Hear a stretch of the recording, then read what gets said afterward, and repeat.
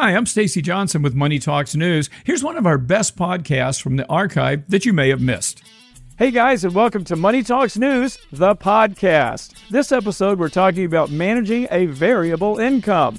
If you're on a steady salary, creating a spending plan is pretty straightforward because you know both what's coming in and what's going out every month. But what if you don't have that stable salary? What if you're one of the millions of Americans who do side work, or you own a business, or you get paid commissions?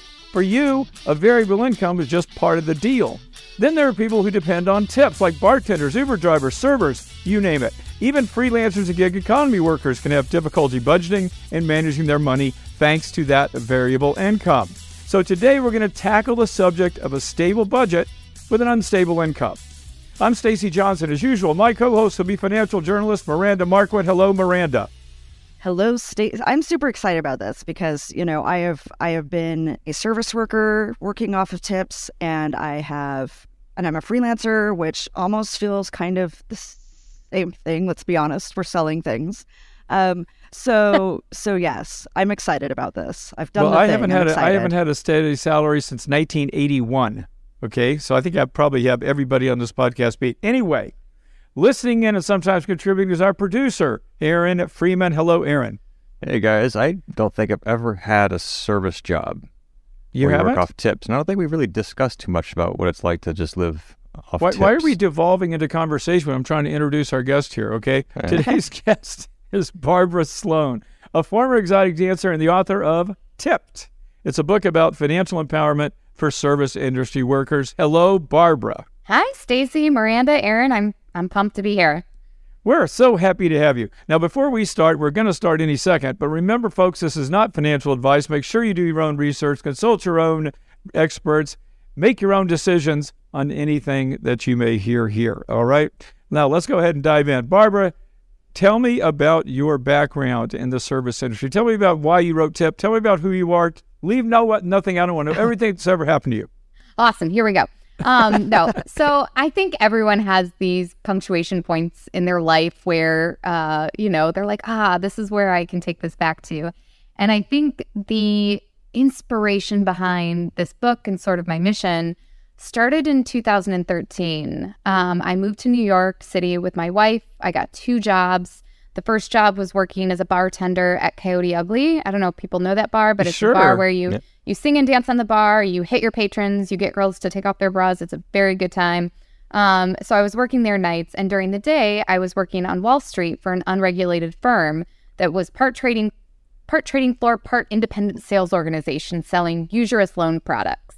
So like loan sharking, essentially. Wow. It, yeah, it was a lesson for me on the markets, on financial services, how predatory they were. It was an incredibly toxic experience. And after our third trader was shipped off to rehab, I was like, I'm I'm going to go back to bars and construction because that had been what my career had been for the last 20 years. And so um, I ended up leaving Wall Street and going and getting a job during the day at a construction company. It's actually the construction company that I now own.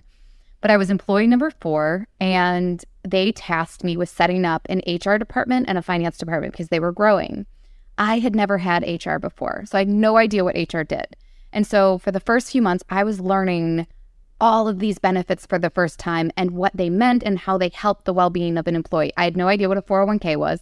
I had no idea what a paid time off policy was. I had maybe had health insurance once. Remember, I had spent 20 years in the service industry. And so seeing all of these benefits and safety nets that these employees were getting access to was one side of the equation. And then on the other side, I was working for these millionaires and billionaires on their budgets for their renovations because we worked for high end clients and getting to have conversations with them daily about how they viewed money, how they budgeted for these very high expense items when it seemed like they had unlimited resources. And so it was these benefits systems, safety nets, coupled with this mindset and framework stuff. And I was like, oh, this is the reason that myself and my peers have not been able to build wealth. And for me, when I when I first had that aha moment, it just really turned into a well, I better get my stuff together and I'm going to use all of this and start to figure out how to get my finances in shape. And then in 2016, we all know what was happening politically. It was a little chaotic and I just turned off all media and I only listened to the sweet, soothing sounds of personal finance content, podcasts, audiobooks, dozens of the personal finance Bibles. And I realized that I didn't see anybody like me, anybody who had spent their career in the service industry, made the majority of their money off of tips. And I was just like, how is it that in this huge umbrella of, you know, personal finance that no one is speaking to 5.5 million workers who work solely or partially on a tip-based income? And so that was Yeah, kind of where this came just from. tips too, right? Five million people just uh, make their money from tips, and there's also people Yep. who make commissions and all kinds of, or self-employed people like me and like Miranda. Yep. Now, well, you were also an exotic dancer, is that right? Yeah. So my service industry career was really varied. Um, when I was 19, or sorry, when I was 20, I moved to California. I lived in a studio apartment with three other women, and uh, I had gotten myself into some some debt, about one hundred and seventy eight thousand dollars of debt to be exact, at the age of 20, um, which we can totally go into. Um, and so I was dodging some creditors, and I was only taking jobs that were paying cash. And that was sort of, it started with me answering ads on Craigslist for anything that paid cash. And so my history in the service industry, I have been a go-go dancer, a bartender, a pole dancer, exotic dancer. I worked in flair, or I worked in like the fetish and kink community. I was a flair bartender. I was a coyote. I, uh, you you name it. If it did, if it What's took a tips, I flair did it. bartender? A flair bartender is somebody who throws bottles around and oh, okay, okay, like yeah, uh, like, that. cocktail. Yeah, there you go. That movie. So you've done pretty much everything. I've not cut anyone's hair or driven a taxi. Um, but outside of those things, yeah, I've Hey, done a the- lot for tips. The day is young, Barbara. Okay, who knows what you're going to be doing by the time this podcast is over? So now, let me okay, let me ask you this question too, because I'm curious. And I owned a bar, so and I'm I'm familiar with bartending. Um, uh, what what percentage of an exotic dancer's income is from tips? Um, majority? All of it? Yeah. So the group that I cater to mostly is people who live on that $2.13 sub minimum wage, which is anybody who works in a restaurant, a club, and a bar atmosphere. And so the other thing to remember for these professions is that you're often having to tip out. There's additional expenses that are being deducted from those tips. So in club atmospheres, you're having to tip out your house fees, you're having to tip out your security staff, you're still having to tip out your bar. Um, in restaurants, you have to tip out your bar backs. You may have to tip out your host or your, you know, if there's a sommelier or, you know, whatever the context of your establishment is, there's usually a portion of your tips that you don't get to keep. How variable is your income when you're in one of those professions? In other words, I mean, if, if I go to the same bar and I work the same hours, the same days every week, is my income relatively stable even though it's tip based? Or, or is it just wildly variable? So over my 20 years of experience, I had years where I made $20,000 of income and I was traveling a lot. And I had years where I made six figures. And it's really location dependent. It's really establishment dependent. And it's really dependent on the clientele that you're serving.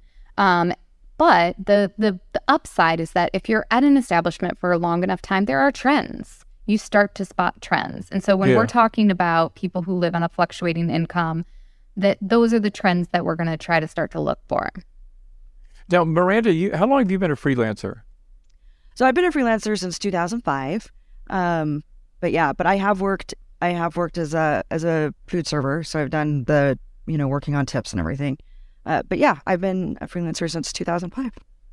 So that's a long time too. So Yeah. I, I've been self-employed since 1981. Um, I was a commissioned stockbroker, and then I've owned this business since 1991. So my income is has been as low. In 2009, I think I made thirty thousand dollars. I was trying to keep all my employees paid, and then there have been years when I made seven figures. So my income is wildly fluctuating.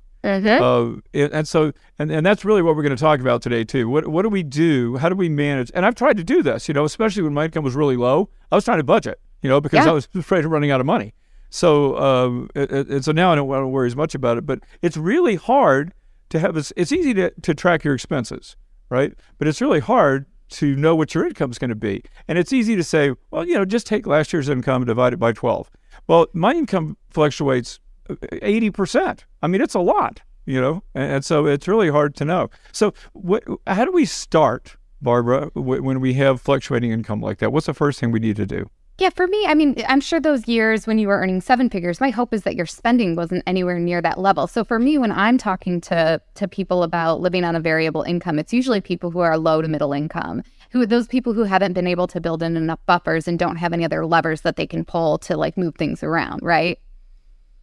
Yeah, that makes sense. Yeah. So when I start to talk to lower middle income people about living on a fluctuating income, especially when you were talking about that seasonality to the work, like when I worked in club atmospheres, summers were clo- were super super slow. Sporting event nights were super super slow. But I paired my club experience with a sports bar so that during the summers I had patios that I could serve or I had games where I would make a ton of money and then I could go to the clubs when those nights were really busy. So the first thing is to spot trends. If you are working in an environment where it's seasonal, you can look at picking up income in order to offset that fluctuation. But let's say, for instance, that you're not, that you're just going to work your one job with this seasonality. You need to build in buffers. So, for a lot of people in the service industry, holidays are a great time. Holidays are my favorite time, right? Everyone gets a lot of extra money during the holidays. This is when you build up your buffers. It's when I tell people to start creating their PTO policies. It's when they can build in their buffers or maybe start to like plug things into their emergency fund. The bad news for people on a fluctuating income, as you all know, is that it's not as easy to budget as if you're getting the exact same amount Yeah. every single month. It's harder. And so, first, like, just know that it's going to be a little bit more difficult, but you don't have to be perfect and you don't have to know this perfectly in order to start. Plus, all the people you're working with are going for the same time slots. Yeah. Ex- exactly. Exactly. Um, when whenever I start to talk about budgeting, I like to talk about my experience as a fetish and kink worker because the lessons that I learned in that community, I think perfectly address budgeting. What's a Um, fetish and kink worker? I need I need details here. I need the deets. I have, like, for instance, I have an OnlyFans for my feet. You what? What's that? I have an OnlyFans for my feet. You do not. I do. You are the most interesting woman and get and getting more so Barbara's every the most week. interesting woman, actually. But I, I, I have an think we're OnlyFans- tied, Miranda. I do have an OnlyFans for my feet. I think you So, have to and, and that that's what qualifies as kink. there's there's so many things that qualify as kink and fetish work and so really for me i did things as vanilla as working corporate events where i would pose in uh, latex with whips and pose for pictures for corporate events with people and you know whip them for sort of like corporate fun parties and i've done private gigs where i have been a master of ceremonies at an orgy i mean like it really runs the the the, the gamut but so Yeah, we should hang out together. I think. where where are you anyway, Barbara? What state are you in? I'm in New York. I'm in New York In City. New York. Cool. All right. So the first thing I like to talk about, which Miranda, you queued this up for me perfectly. The lesson number one is only people who are into feet want to talk about feet. So find your people. When you're first starting to budget, find other people that are in the same situation as you and use them for community. You're going to fall off the budgeting bandwagon. You're not going to keep a budget. You're not going to learn how to manage a fluctuating income if you don't have somebody else to talk to. How do you find this. these people, Barbara? Yeah. How do you so find your tribe? It's it's there's a number of places that you can look for this. The first thing I would do is start with your establishment. If you're working at an establishment, maybe host like an investing club or a budgeting club and see who shows up to that. Right? It's easier to do hard things when you have buy-in from your peers. If no one at your establishment is interested in that, trust me, I had so many times where like it's hard to look like a hot girl when you're bringing a brown bag lunch to a place that only sells fried things and being like, "Can I get a little fridge space here?" Um, so you may not find anyone at your establishment. So you may need to join Facebook groups. You may need to find podcasts to listen to to kind of relate to people. You may need to go outside of your your typical circle to find that that community, but it's really important. And Facebook groups, I think, and and social media is a great way for you to connect with people who have like interests. That makes sense. Tailor your Facebook social group. medias. You have a you have a Facebook Well, group? we have a Facebook group for for uh, retirement planning, which isn't. I mean, you guys are too young for that, but uh, and for my age group, uh, You're we never too young we for retirement planning. You should I Well, that is true. 100% agree. retirement. Yeah. That is true. All right. So, lesson number two for budgeting the things that you want most should be a part of your budget toys, substances. I only have one rule when it comes to budgeting you cannot budget for a hitman. You can still you can still hire one. You just can't keep records like that. So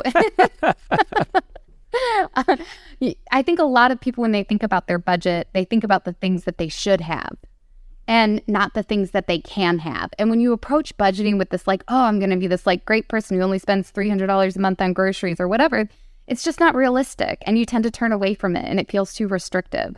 So the things that you want most should be a part of your budget. That makes um, sense. Le- lesson number three boundaries are important and they are your job to communicate them. Saying yes is how other people get what they want, saying no is how you get what you want. And so oh, that's, that's interesting. Yeah. And that's important for budgeting because otherwise, especially in the service industry, other people will spend your money for you. Let's all go grab drinks after work. Let's go. Uh, let's go to, to a different club. And hey, this person's working over here. Let's go do that when you leave a, a, service industry ship, you leave a ship energized. Yeah. And so you need to burn off some steam. And so a lot of time that involves spending a good portion of what you just made on winding down. How do you keep from doing that? You have to build up an awareness. I think in our industry, we constantly make the wrong, we constantly ask the wrong questions. Would I rather go out or would I rather not go out? When you ask that question, then the answer is always, I'd rather go out. Of course. But if you ask yourself, would I rather only go out once a week, max out my Roth IRA, and go to Mexico, or would I rather go out three times a week? Then you can start to see where there's some intentionality and you can start to make trade offs based on your values. But it's not until you start tracking, which we're going to go into, so you tracking your income and why that's so important that you get to like build that awareness. All right. So in lesson number four, which is my the last lesson, is discretion is encouraged. Fetish work, budgeting, same thing. Discretion is encouraged. Not everyone needs to watch you budget. Budget like no one is watching because no one needs to watch. Your family, your friends, they may not want you to start saving money. It may mean that you're spending less on them or with them or yeah. you know, in in in those peer groups. And so if you have new goals, that's okay don't expose yourself to unnecessary criticism or judgment, especially when you're just starting out. It, it, we've also been we've also been taught, or, or we've I've certainly read a lot that you should have a partner in budgeting to help you stay on track, just like you would if you were working out or something like that. Yeah. So lesson number one was find your people, but find the right yes, people. And lesson number four is use discretion, right? So it's it yes, you want to make sure that you're not talking about this with the wrong people and that you are talking about it with the right people. So 100%, absolutely. Finding community is a huge part of being able to be successful in this. Cool. And so you've done, I assume you've done this since you've written a book on it, and it's and it's obviously worked for you. Is that true? I mean, tell tell me about where you were and where you are now. Yeah. So for me, I'm a zero based budgeter now, which I'm not sure if you've talked about this on this show, but a zero based budget is sort of when you send money off into your goals and you spend what is less, what is left over. And so it's not that level of meticulous tracking that so many people dread and associate with budgeting. I, I like to start everything with a definition. When you define budgeting, budgeting is just an estimate of what's coming in and what's going out.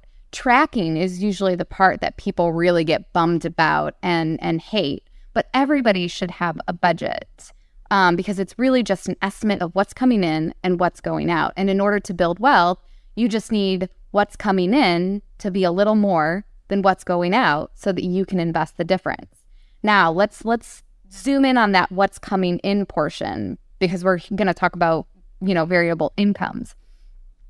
It's not for most people, especially in low and middle income, those people who don't have buffers and don't have safety nets, we're not talking about a variability range of like $0 to $7 million.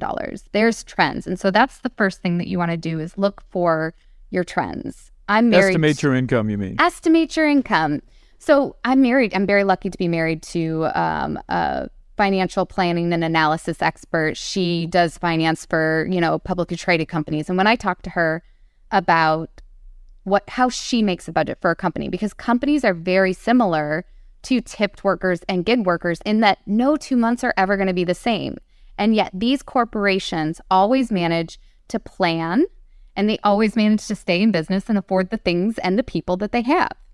Right? So there's a lot of similarities between how a company plans for its expenses and manages its income and how a person who lives on a fluctuating income plans on their income and their expenses. The first thing is that you don't have to make a budget based on your income. You can make a budget based off your expenses.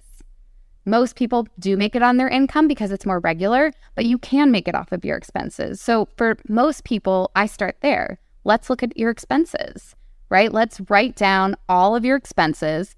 Shoot, we don't even have to like look at them. Let's start with guessing. I like guessing because it's more fun because later on, after you've gotten really good at this, you can be like, oh my God, I used to think that this cost this much. and now you know, like it's, oh, now, now I'm much more tuned in and you can see your own progress. Yeah, you could be surprised at where your money's going. Yeah. And so those big corporations, what they do is they make a guess of what they're going to spend and then they analyze it and, the, and they go back and see if their guesses were right. Right. So they guess. Yeah, that's right. That, that's what all of these big companies are doing at the end of the day. They're throwing darts at a wall, they're tracking, and then they're going back to see if their guesses were correct. And that's what people who live on a fluctuating income and who live on tips have to do at the micro level. Now, let me ask you this. Barbara. Uh, having owned a bar, and I can see, and you're a young person, I can see. As a matter of fact, all three of you guys are relative, young relative to me. But this is, these are the people least likely to create any kind of a spending plan are people who are bartenders that are 23 years old. I mean, they're, I mean, actually, 20 year olds, period, are not likely to make a budget, much less people who work in the bar industry. How, how do you get how do you get people to focus on what's important when they're that young and they're that carefree? Yeah, I don't usually start with budgeting. I usually just start with tracking their income because most people who are on low and middle income and on a fluctuating income, they don't typically understand how much potential they have. So, like anyone I know who worked on tips, if they you know, when tax time rolls around, they're like, I don't know, how much do you think I made? Or they'll throw a dart at the wall and be like, this one sounds great, or this is what I have saved to pay in taxes. So the first thing I have people do is just start to track their income. Just start to see, oh, this is how much I actually made. And then when you kind of realize, oh, well, maybe I haven't been the best steward over that money. And then maybe we need to dig in and see where that money is going. You know, so I like to kind of take it in small chunks. Like you're not going to turn your financial life around in, you know, overnight. It takes small steps. And so for people who are young and for people who are just starting out, just tracking your income alone can be hugely impactful. And then tracking your expenses too, I guess. What what about things like putting aside money for re- in a retirement plan?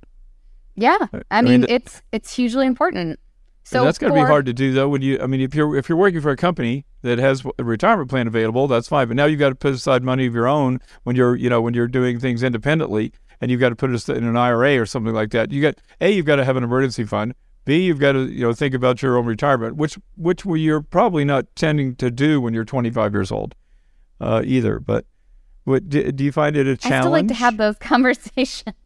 Yeah, it's so I'm I'm actually giving a talk next month at the economy conference on financial legitimacy because people who work on tips they get so bogged down when they compare themselves to their peers who have all these safety nets in place and they're like, "Oh, I'm never going to have a legitimate financial life. Why should I even bother trying?" Yeah. And so you have to kind of get you have to work through some of that mindset stuff first. Um I think a lot of people in this industry also don't even realize that they can have a retirement account. They associate retirement accounts to be synonymous with having an employer provided plan. And so mm-hmm. sometimes it's just even telling people that they can have permission to have one. Um, so I absolutely start the conversation, even with young people, my coaching clients, about setting up retirement plans, uh, especially the younger you are, the easier it is. So you Roth, coach people one on one? I do. I'm sorry. Yeah. I'm sorry to cut you off, Miranda. What were you going to say? I was just going to say the Roth IRA is your friend. Yeah. yeah. Like, like the Roth IRA is your friend. I think that's one of the things we, you know, they're very easy to open. Like my son has one, um, and they're just they're very easy to open.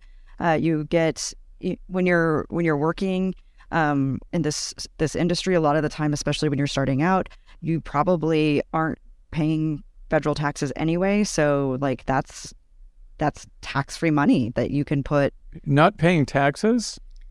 I well, like to I mean, call it a slight pre-tax benefit, and for all of your listeners, I'll just say it doesn't yeah. it doesn't rise to an to a felony unless you're not claiming more than 75% of your income. I don't want, I don't know why I know this, but, um, That's what I, I- so. What, well, what I guess what I, I should have been clearer in my language. What I meant is a lot of the time your um your income is low enough that you're not going to like. For instance, my son who works part time uh, while he goes to school, he does not have enough income that they would be charging him for federal taxes. So it, it has nothing to do with hiding tips, but but uh, but he has his Roth IRA.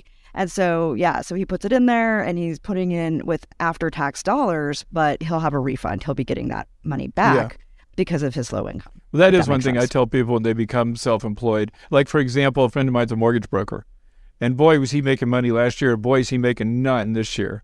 And so when people are going into professions like that, I'm always like, uh, you know, a make put some money aside, you know, do that, and b make sure you're able to pay your taxes. Because what people do is they'll make a hundred grand, and then at the end of the year they're like, well, wait a minute, I'm supposed to pay, t- I'm supposed to be paying taxes quarterly, and now they owe twenty five thousand dollars, and they don't have it. You know, Yeah, so yeah, be I always careful. recommend people put 20 to 25% of their income in a separate bucket for their taxes. And if there's anything left over, you can use that to pad out your, your emergency fund or any of your buffers that maybe not be, you know, padded out yet. When emergency funds are one of the first things I tell SIPs and, you know, gig workers, independent consultants to work on for people in the service industry you have a power imbalance. You are serving somebody else. And so if you don't if you're reliant on their tip in order to pay your rent or even get some food that night, then you're going to be a lot more willing to cross your own boundaries and maybe do something that's unsafe or not okay or not in line with the values of the establishment. Having that emergency fund puts the power back into your your court. It almost changes every aspect of that job for you and it allows you to earn money in a way that is according to your values. So you can say, actually, I'm going to kick this guy out of my bar. I'm going to kick this guy out of my club because they're not being respectful or they're not, you know, abiding by our rules. And so emergency funds are not only super important for gig workers, but they're really, really important for people in the service industry. Yeah, I could buy that. And you know, another thing too is uh, these are these are kind of decisions that you need to face when you start doing this in the first place. And I know some people are they're becoming bartender for you know while they're in college or whatever. But I mean, if you're going to approach this as a career, like being self-employed, uh, you know, my my uh, my wife's mother, who's my age, uh, is a retired school teacher. She just retired, and guess what? She's getting an income but close to what she was making as, as teacher for the rest of her life. And you know what my income is? Whatever I can squeeze out of the savings that I have. And you know, and, and I couldn't be. a- I mean, I haven't had a salary since 1981. You know, 40 years. So I, I couldn't get. I mean, it, have to be huge for me to get a salary. I don't want to know how much money I'm going to make. But there is a downside to that. I, my security is way less than people who have salaries, and especially people with pensions. And it's the same thing when you're a gig worker, or like you, Miranda, as a as a freelancer. I mean, you know, nobody's going to come. We got Social Security, but nobody's going to come along and give us a pension. And, and it's and and what you pointed out too, Barbara, throughout this entire podcast is that you've got extra hoops to jump through when you're self-employed like that, right? No matter how you're self-employed, it's harder for you to budget when you don't know what your income is going to be. Yeah, and, and when- and, and it's not always in your control. Yeah. And when you are a service based worker and you are typically not claiming your income in full because a portion of that is coming in cash tips or whatever, then you're not going to be on the receiving end of some of those benefits that are income dependent, such as Social Security, which is a Right. partial partial income replacement plan based off of what you claim. And so majority of solely majority of currently retired service industry professionals rely solely only on Social Security. Yeah. What, Miranda?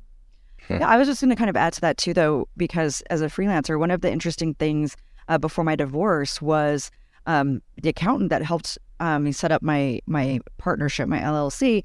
Uh, we had my my ex husband as like the junior partner in this, but we assigned most of the uh, most of the uh, income from the business to flow through him on paper. Well, what that meant for me was it meant we had great tax savings from the self employment tax for several years, but my Social Security earnings and credits were very, very low. And uh, I've only started recovering from that now that I have, now that the divorce is final and I am, you know, paying the taxes separately. And now I'm an S corp and I pay myself through payroll, so now I'm getting all of the Social Security credit that I need. Uh, but like, but having that as a as a thing, as an LLC, as a partnership, and and that's one of the things you need to watch out too if you're married and doing this sort of a, this sort of work is if you decide you're going to do this and on paper flow it through somebody else and try and save money on that self-employment tax, what happens later? Yeah, Yeah, I, I did the same thing. Go, go ahead, Barbara. Unemployment. I mean, yeah, s- uh, sorry, unemployment. self-employment tax. Sorry, that self-employment tax. I misspoke. The self if you're trying to save money on your self-employment tax, like yeah, Yeah. Social Security, in other words. that's that's that's not gonna you you know you're gonna miss out on your social security benefits later. yeah. Yeah, you're screwing yourself on Social Security. You're screwing yourself on unemployment. You're screwing yourself if you need to get a mortgage and you want non-predatory lending rates. You know, because they require two years of seeing a solid income in order for you to get traditional lending. Yeah. It's it's it's really important to claim your income. I did the same thing too, Miranda, when I started this business. I mean, you know, when you start a business, I mean, I was I worked on a card table. I mean, I worked my butt off for many, many years, you know, and the and the, the top of my list was not paying Social Security. It was keeping my business afloat. You know, so now I've got years where I had no so, no income as far as Social Security is concerned. But now I've tried to make up for that, you know, and hopefully I have to some degree. But th- these are all things to consider. I, and the whole point I was trying to make was it's easy for me to look back now and think of the sacrifices or you know, or, or rather put it this way, the advantages that that that my mother-in-law teacher had, you know, with having a having a retirement, having a regular income, and all that stuff. Uh, and it's easy to look back now and see what the advantages and disadvantages that were. At the time, I just wanted to be self-employed, you know, and I wouldn't make any, I wouldn't change it either. I mean, I'm glad what I did what I did. But there, you know, there are sacrifices that you make when you when you go into these types of jobs that pay cash or pay uh, tips or, or pay commissions or things like that. You just have to be willing to work around it. I, I have a question. Uh, tipping is actually kind of a contentious thing here in America, and a lot of people don't do it. Um, what advice do you have for workers to squeeze tips out of people that don't believe it? I mean, because you can't save anything if you don't squeeze the money out of these people. I think if you're an Um, exotic dancer, you probably got a leg up on that, Well, literally and figuratively. Yeah, I'm not sure where I'm not sure where all this vitriol is coming for for tipping people. Tipping has been around for over a hundred years. It's been a standard in our country. It's based on some really problematic history, which I talk about in the book. Um, but it's how people make a majority of their income. Like service work is a two part contractual compensation agreement. Part of your wages come from your employer, that two dollars and thirteen cents, and then the part comes from the guest because they're having a subjective service experience, which only they can gauge. And so they're responsible for tipping because they're the only one receiving that subject- subjective experience. Most of tipping is involved in luxury services. So if you're somebody who's in a low income or, you know, poverty or middle income and you just can't budget for tipping, then you don't need to be in service-based establishments. Like you don't need to go to bars, restaurants, clubs or you know, massage parlors, if you can't afford to tip, you can go to the grocery store, you can have picnics, potlucks, you can do all of these things, you can make your own coffee. Um, and so I'm not sure where where all of this hatred is coming from, but I definitely don't think that it's on the workers to have to try to educate people during the shifts that they're trying to make money on tipping. And so for me, that's part of the mission is like Well, you know, I have I'll- tell you, Barbara. I've heard people recently. I live in South Florida, and there are two things. One is when you when you're near the ocean, a lot of places put the tip on automatically, and that ain't right. You know, it, well, what happens? Not nothing's universally true, but what what can happen is now I've got crappy service because I'm already paying twenty percent when I sat I t- down. I totally agree with you. I don't think like some people are like, "Oh, we should do away with tipping. This is terrible." And I'm like, "Okay, well, let's go back. What were the two industries that were tipped industries that now one has done away with? Railroad workers. Railroad workers used to be tipped. I didn't know that. When's the last time you had an amazing experience with a railroad worker? never, never. Yeah. But the reason it's so important in service based establishments is because you need that dynamic of, okay, I need to turn on the charm, I need to turn on the service, I need to turn it on in order to receive this this tip. And when you talk to the workers in this workforce, you realize that they like that risk versus reward, that they enjoy that there's no no top limit to what they can earn. They like that they can work more to Yeah. make more. They like that they can excel in their skills in order to generate more income. Um, what needs to change in our industry is that two dollars and thirteen cents sub minimum wage. That's absolutely abhorrent. Yeah. Like Yeah. that's that needs to change. I have a policy wish list which we can go into, um, but um, what I like to So that's say, the one thing that's out of step then. Yeah, well, you know, I just had I just had uh, dinner with friends from Norway last night, and you no, I'm sorry, night before last. You had dinner with them last night, right? Yeah, we did. Yeah. Anyway, point, and I asked them, you know, because we had bad service, uh, and I said, "What what's the deal?" 'Cause- And, and a lot of Canadians also vacation at the end of you know r- real near where I live, and they don't tip. You know, a lot They- of people from Europe don't tip, and I asked these guys, the Norwegians, I said, "You guys tip?" Because yeah, we tip a little for exceptional service, but the people get paid. You know, they don't get paid two dollars an hour. They get paid the same as the kitchen staff gets paid. So it's just you know, it's, it's so the customs are different.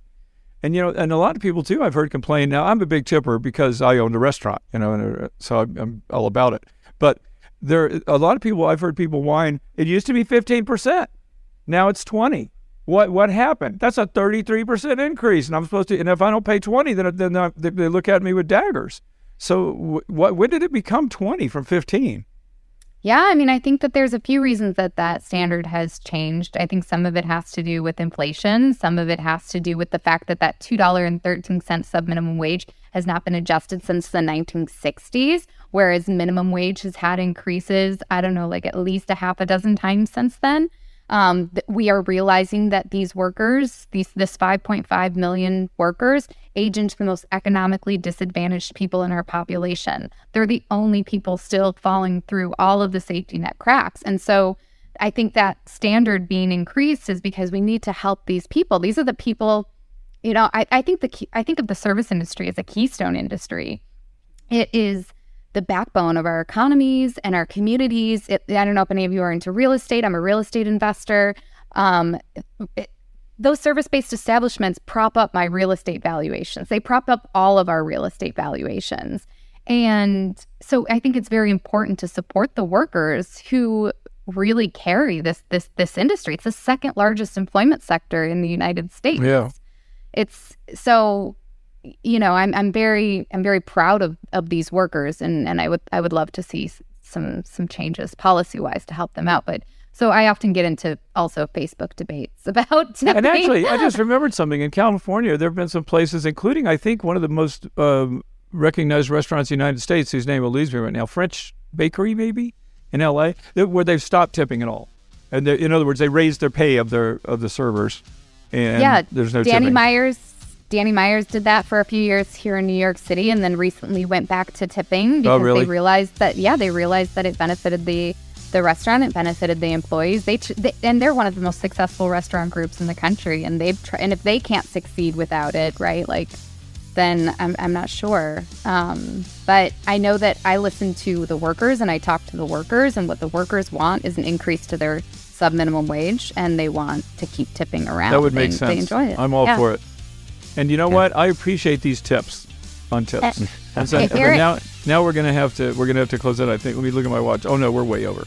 Um, so, but this has been a really good conversation, and, and I don't know if we covered enough detail for those of you out there who are actually living on a variable income. But the important thing, all you really have to know, is to get is, is to get Barbara's book, which is called Yeah. Tipped. But I'm going to go ahead and close the show out now. Unless anybody has something compelling that they have to say at the very end. Anybody have anything they have to say? No. Uh, no, get Okay. tipped. We're going to have a link to it in the show notes. There you go. That's right. Uh, so we are out of time, folks, but we are never out of topic. Dig a little deeper. You're going to find links to lots more info in our show notes. And remember, if your goal is to make more, to spend less, to retire rich, your online home is moneytalksnews.com. And don't forget to check out Miranda's online home as well. That is Miranda Marquit, M A R Q U I T dot com. And if you want to visit Barbara too at her website, that is tippedfinance.com. Tippedfinance.com. But we'll have the link in our show notes.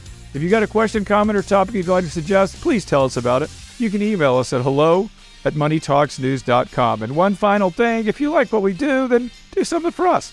Subscribe to our podcast. Takes you two seconds, really helps us so. So if you like us, don't just sit there. Show us and subscribe. And that's my tip for today. I'm Stacy Johnson. I'm Miranda Marquit.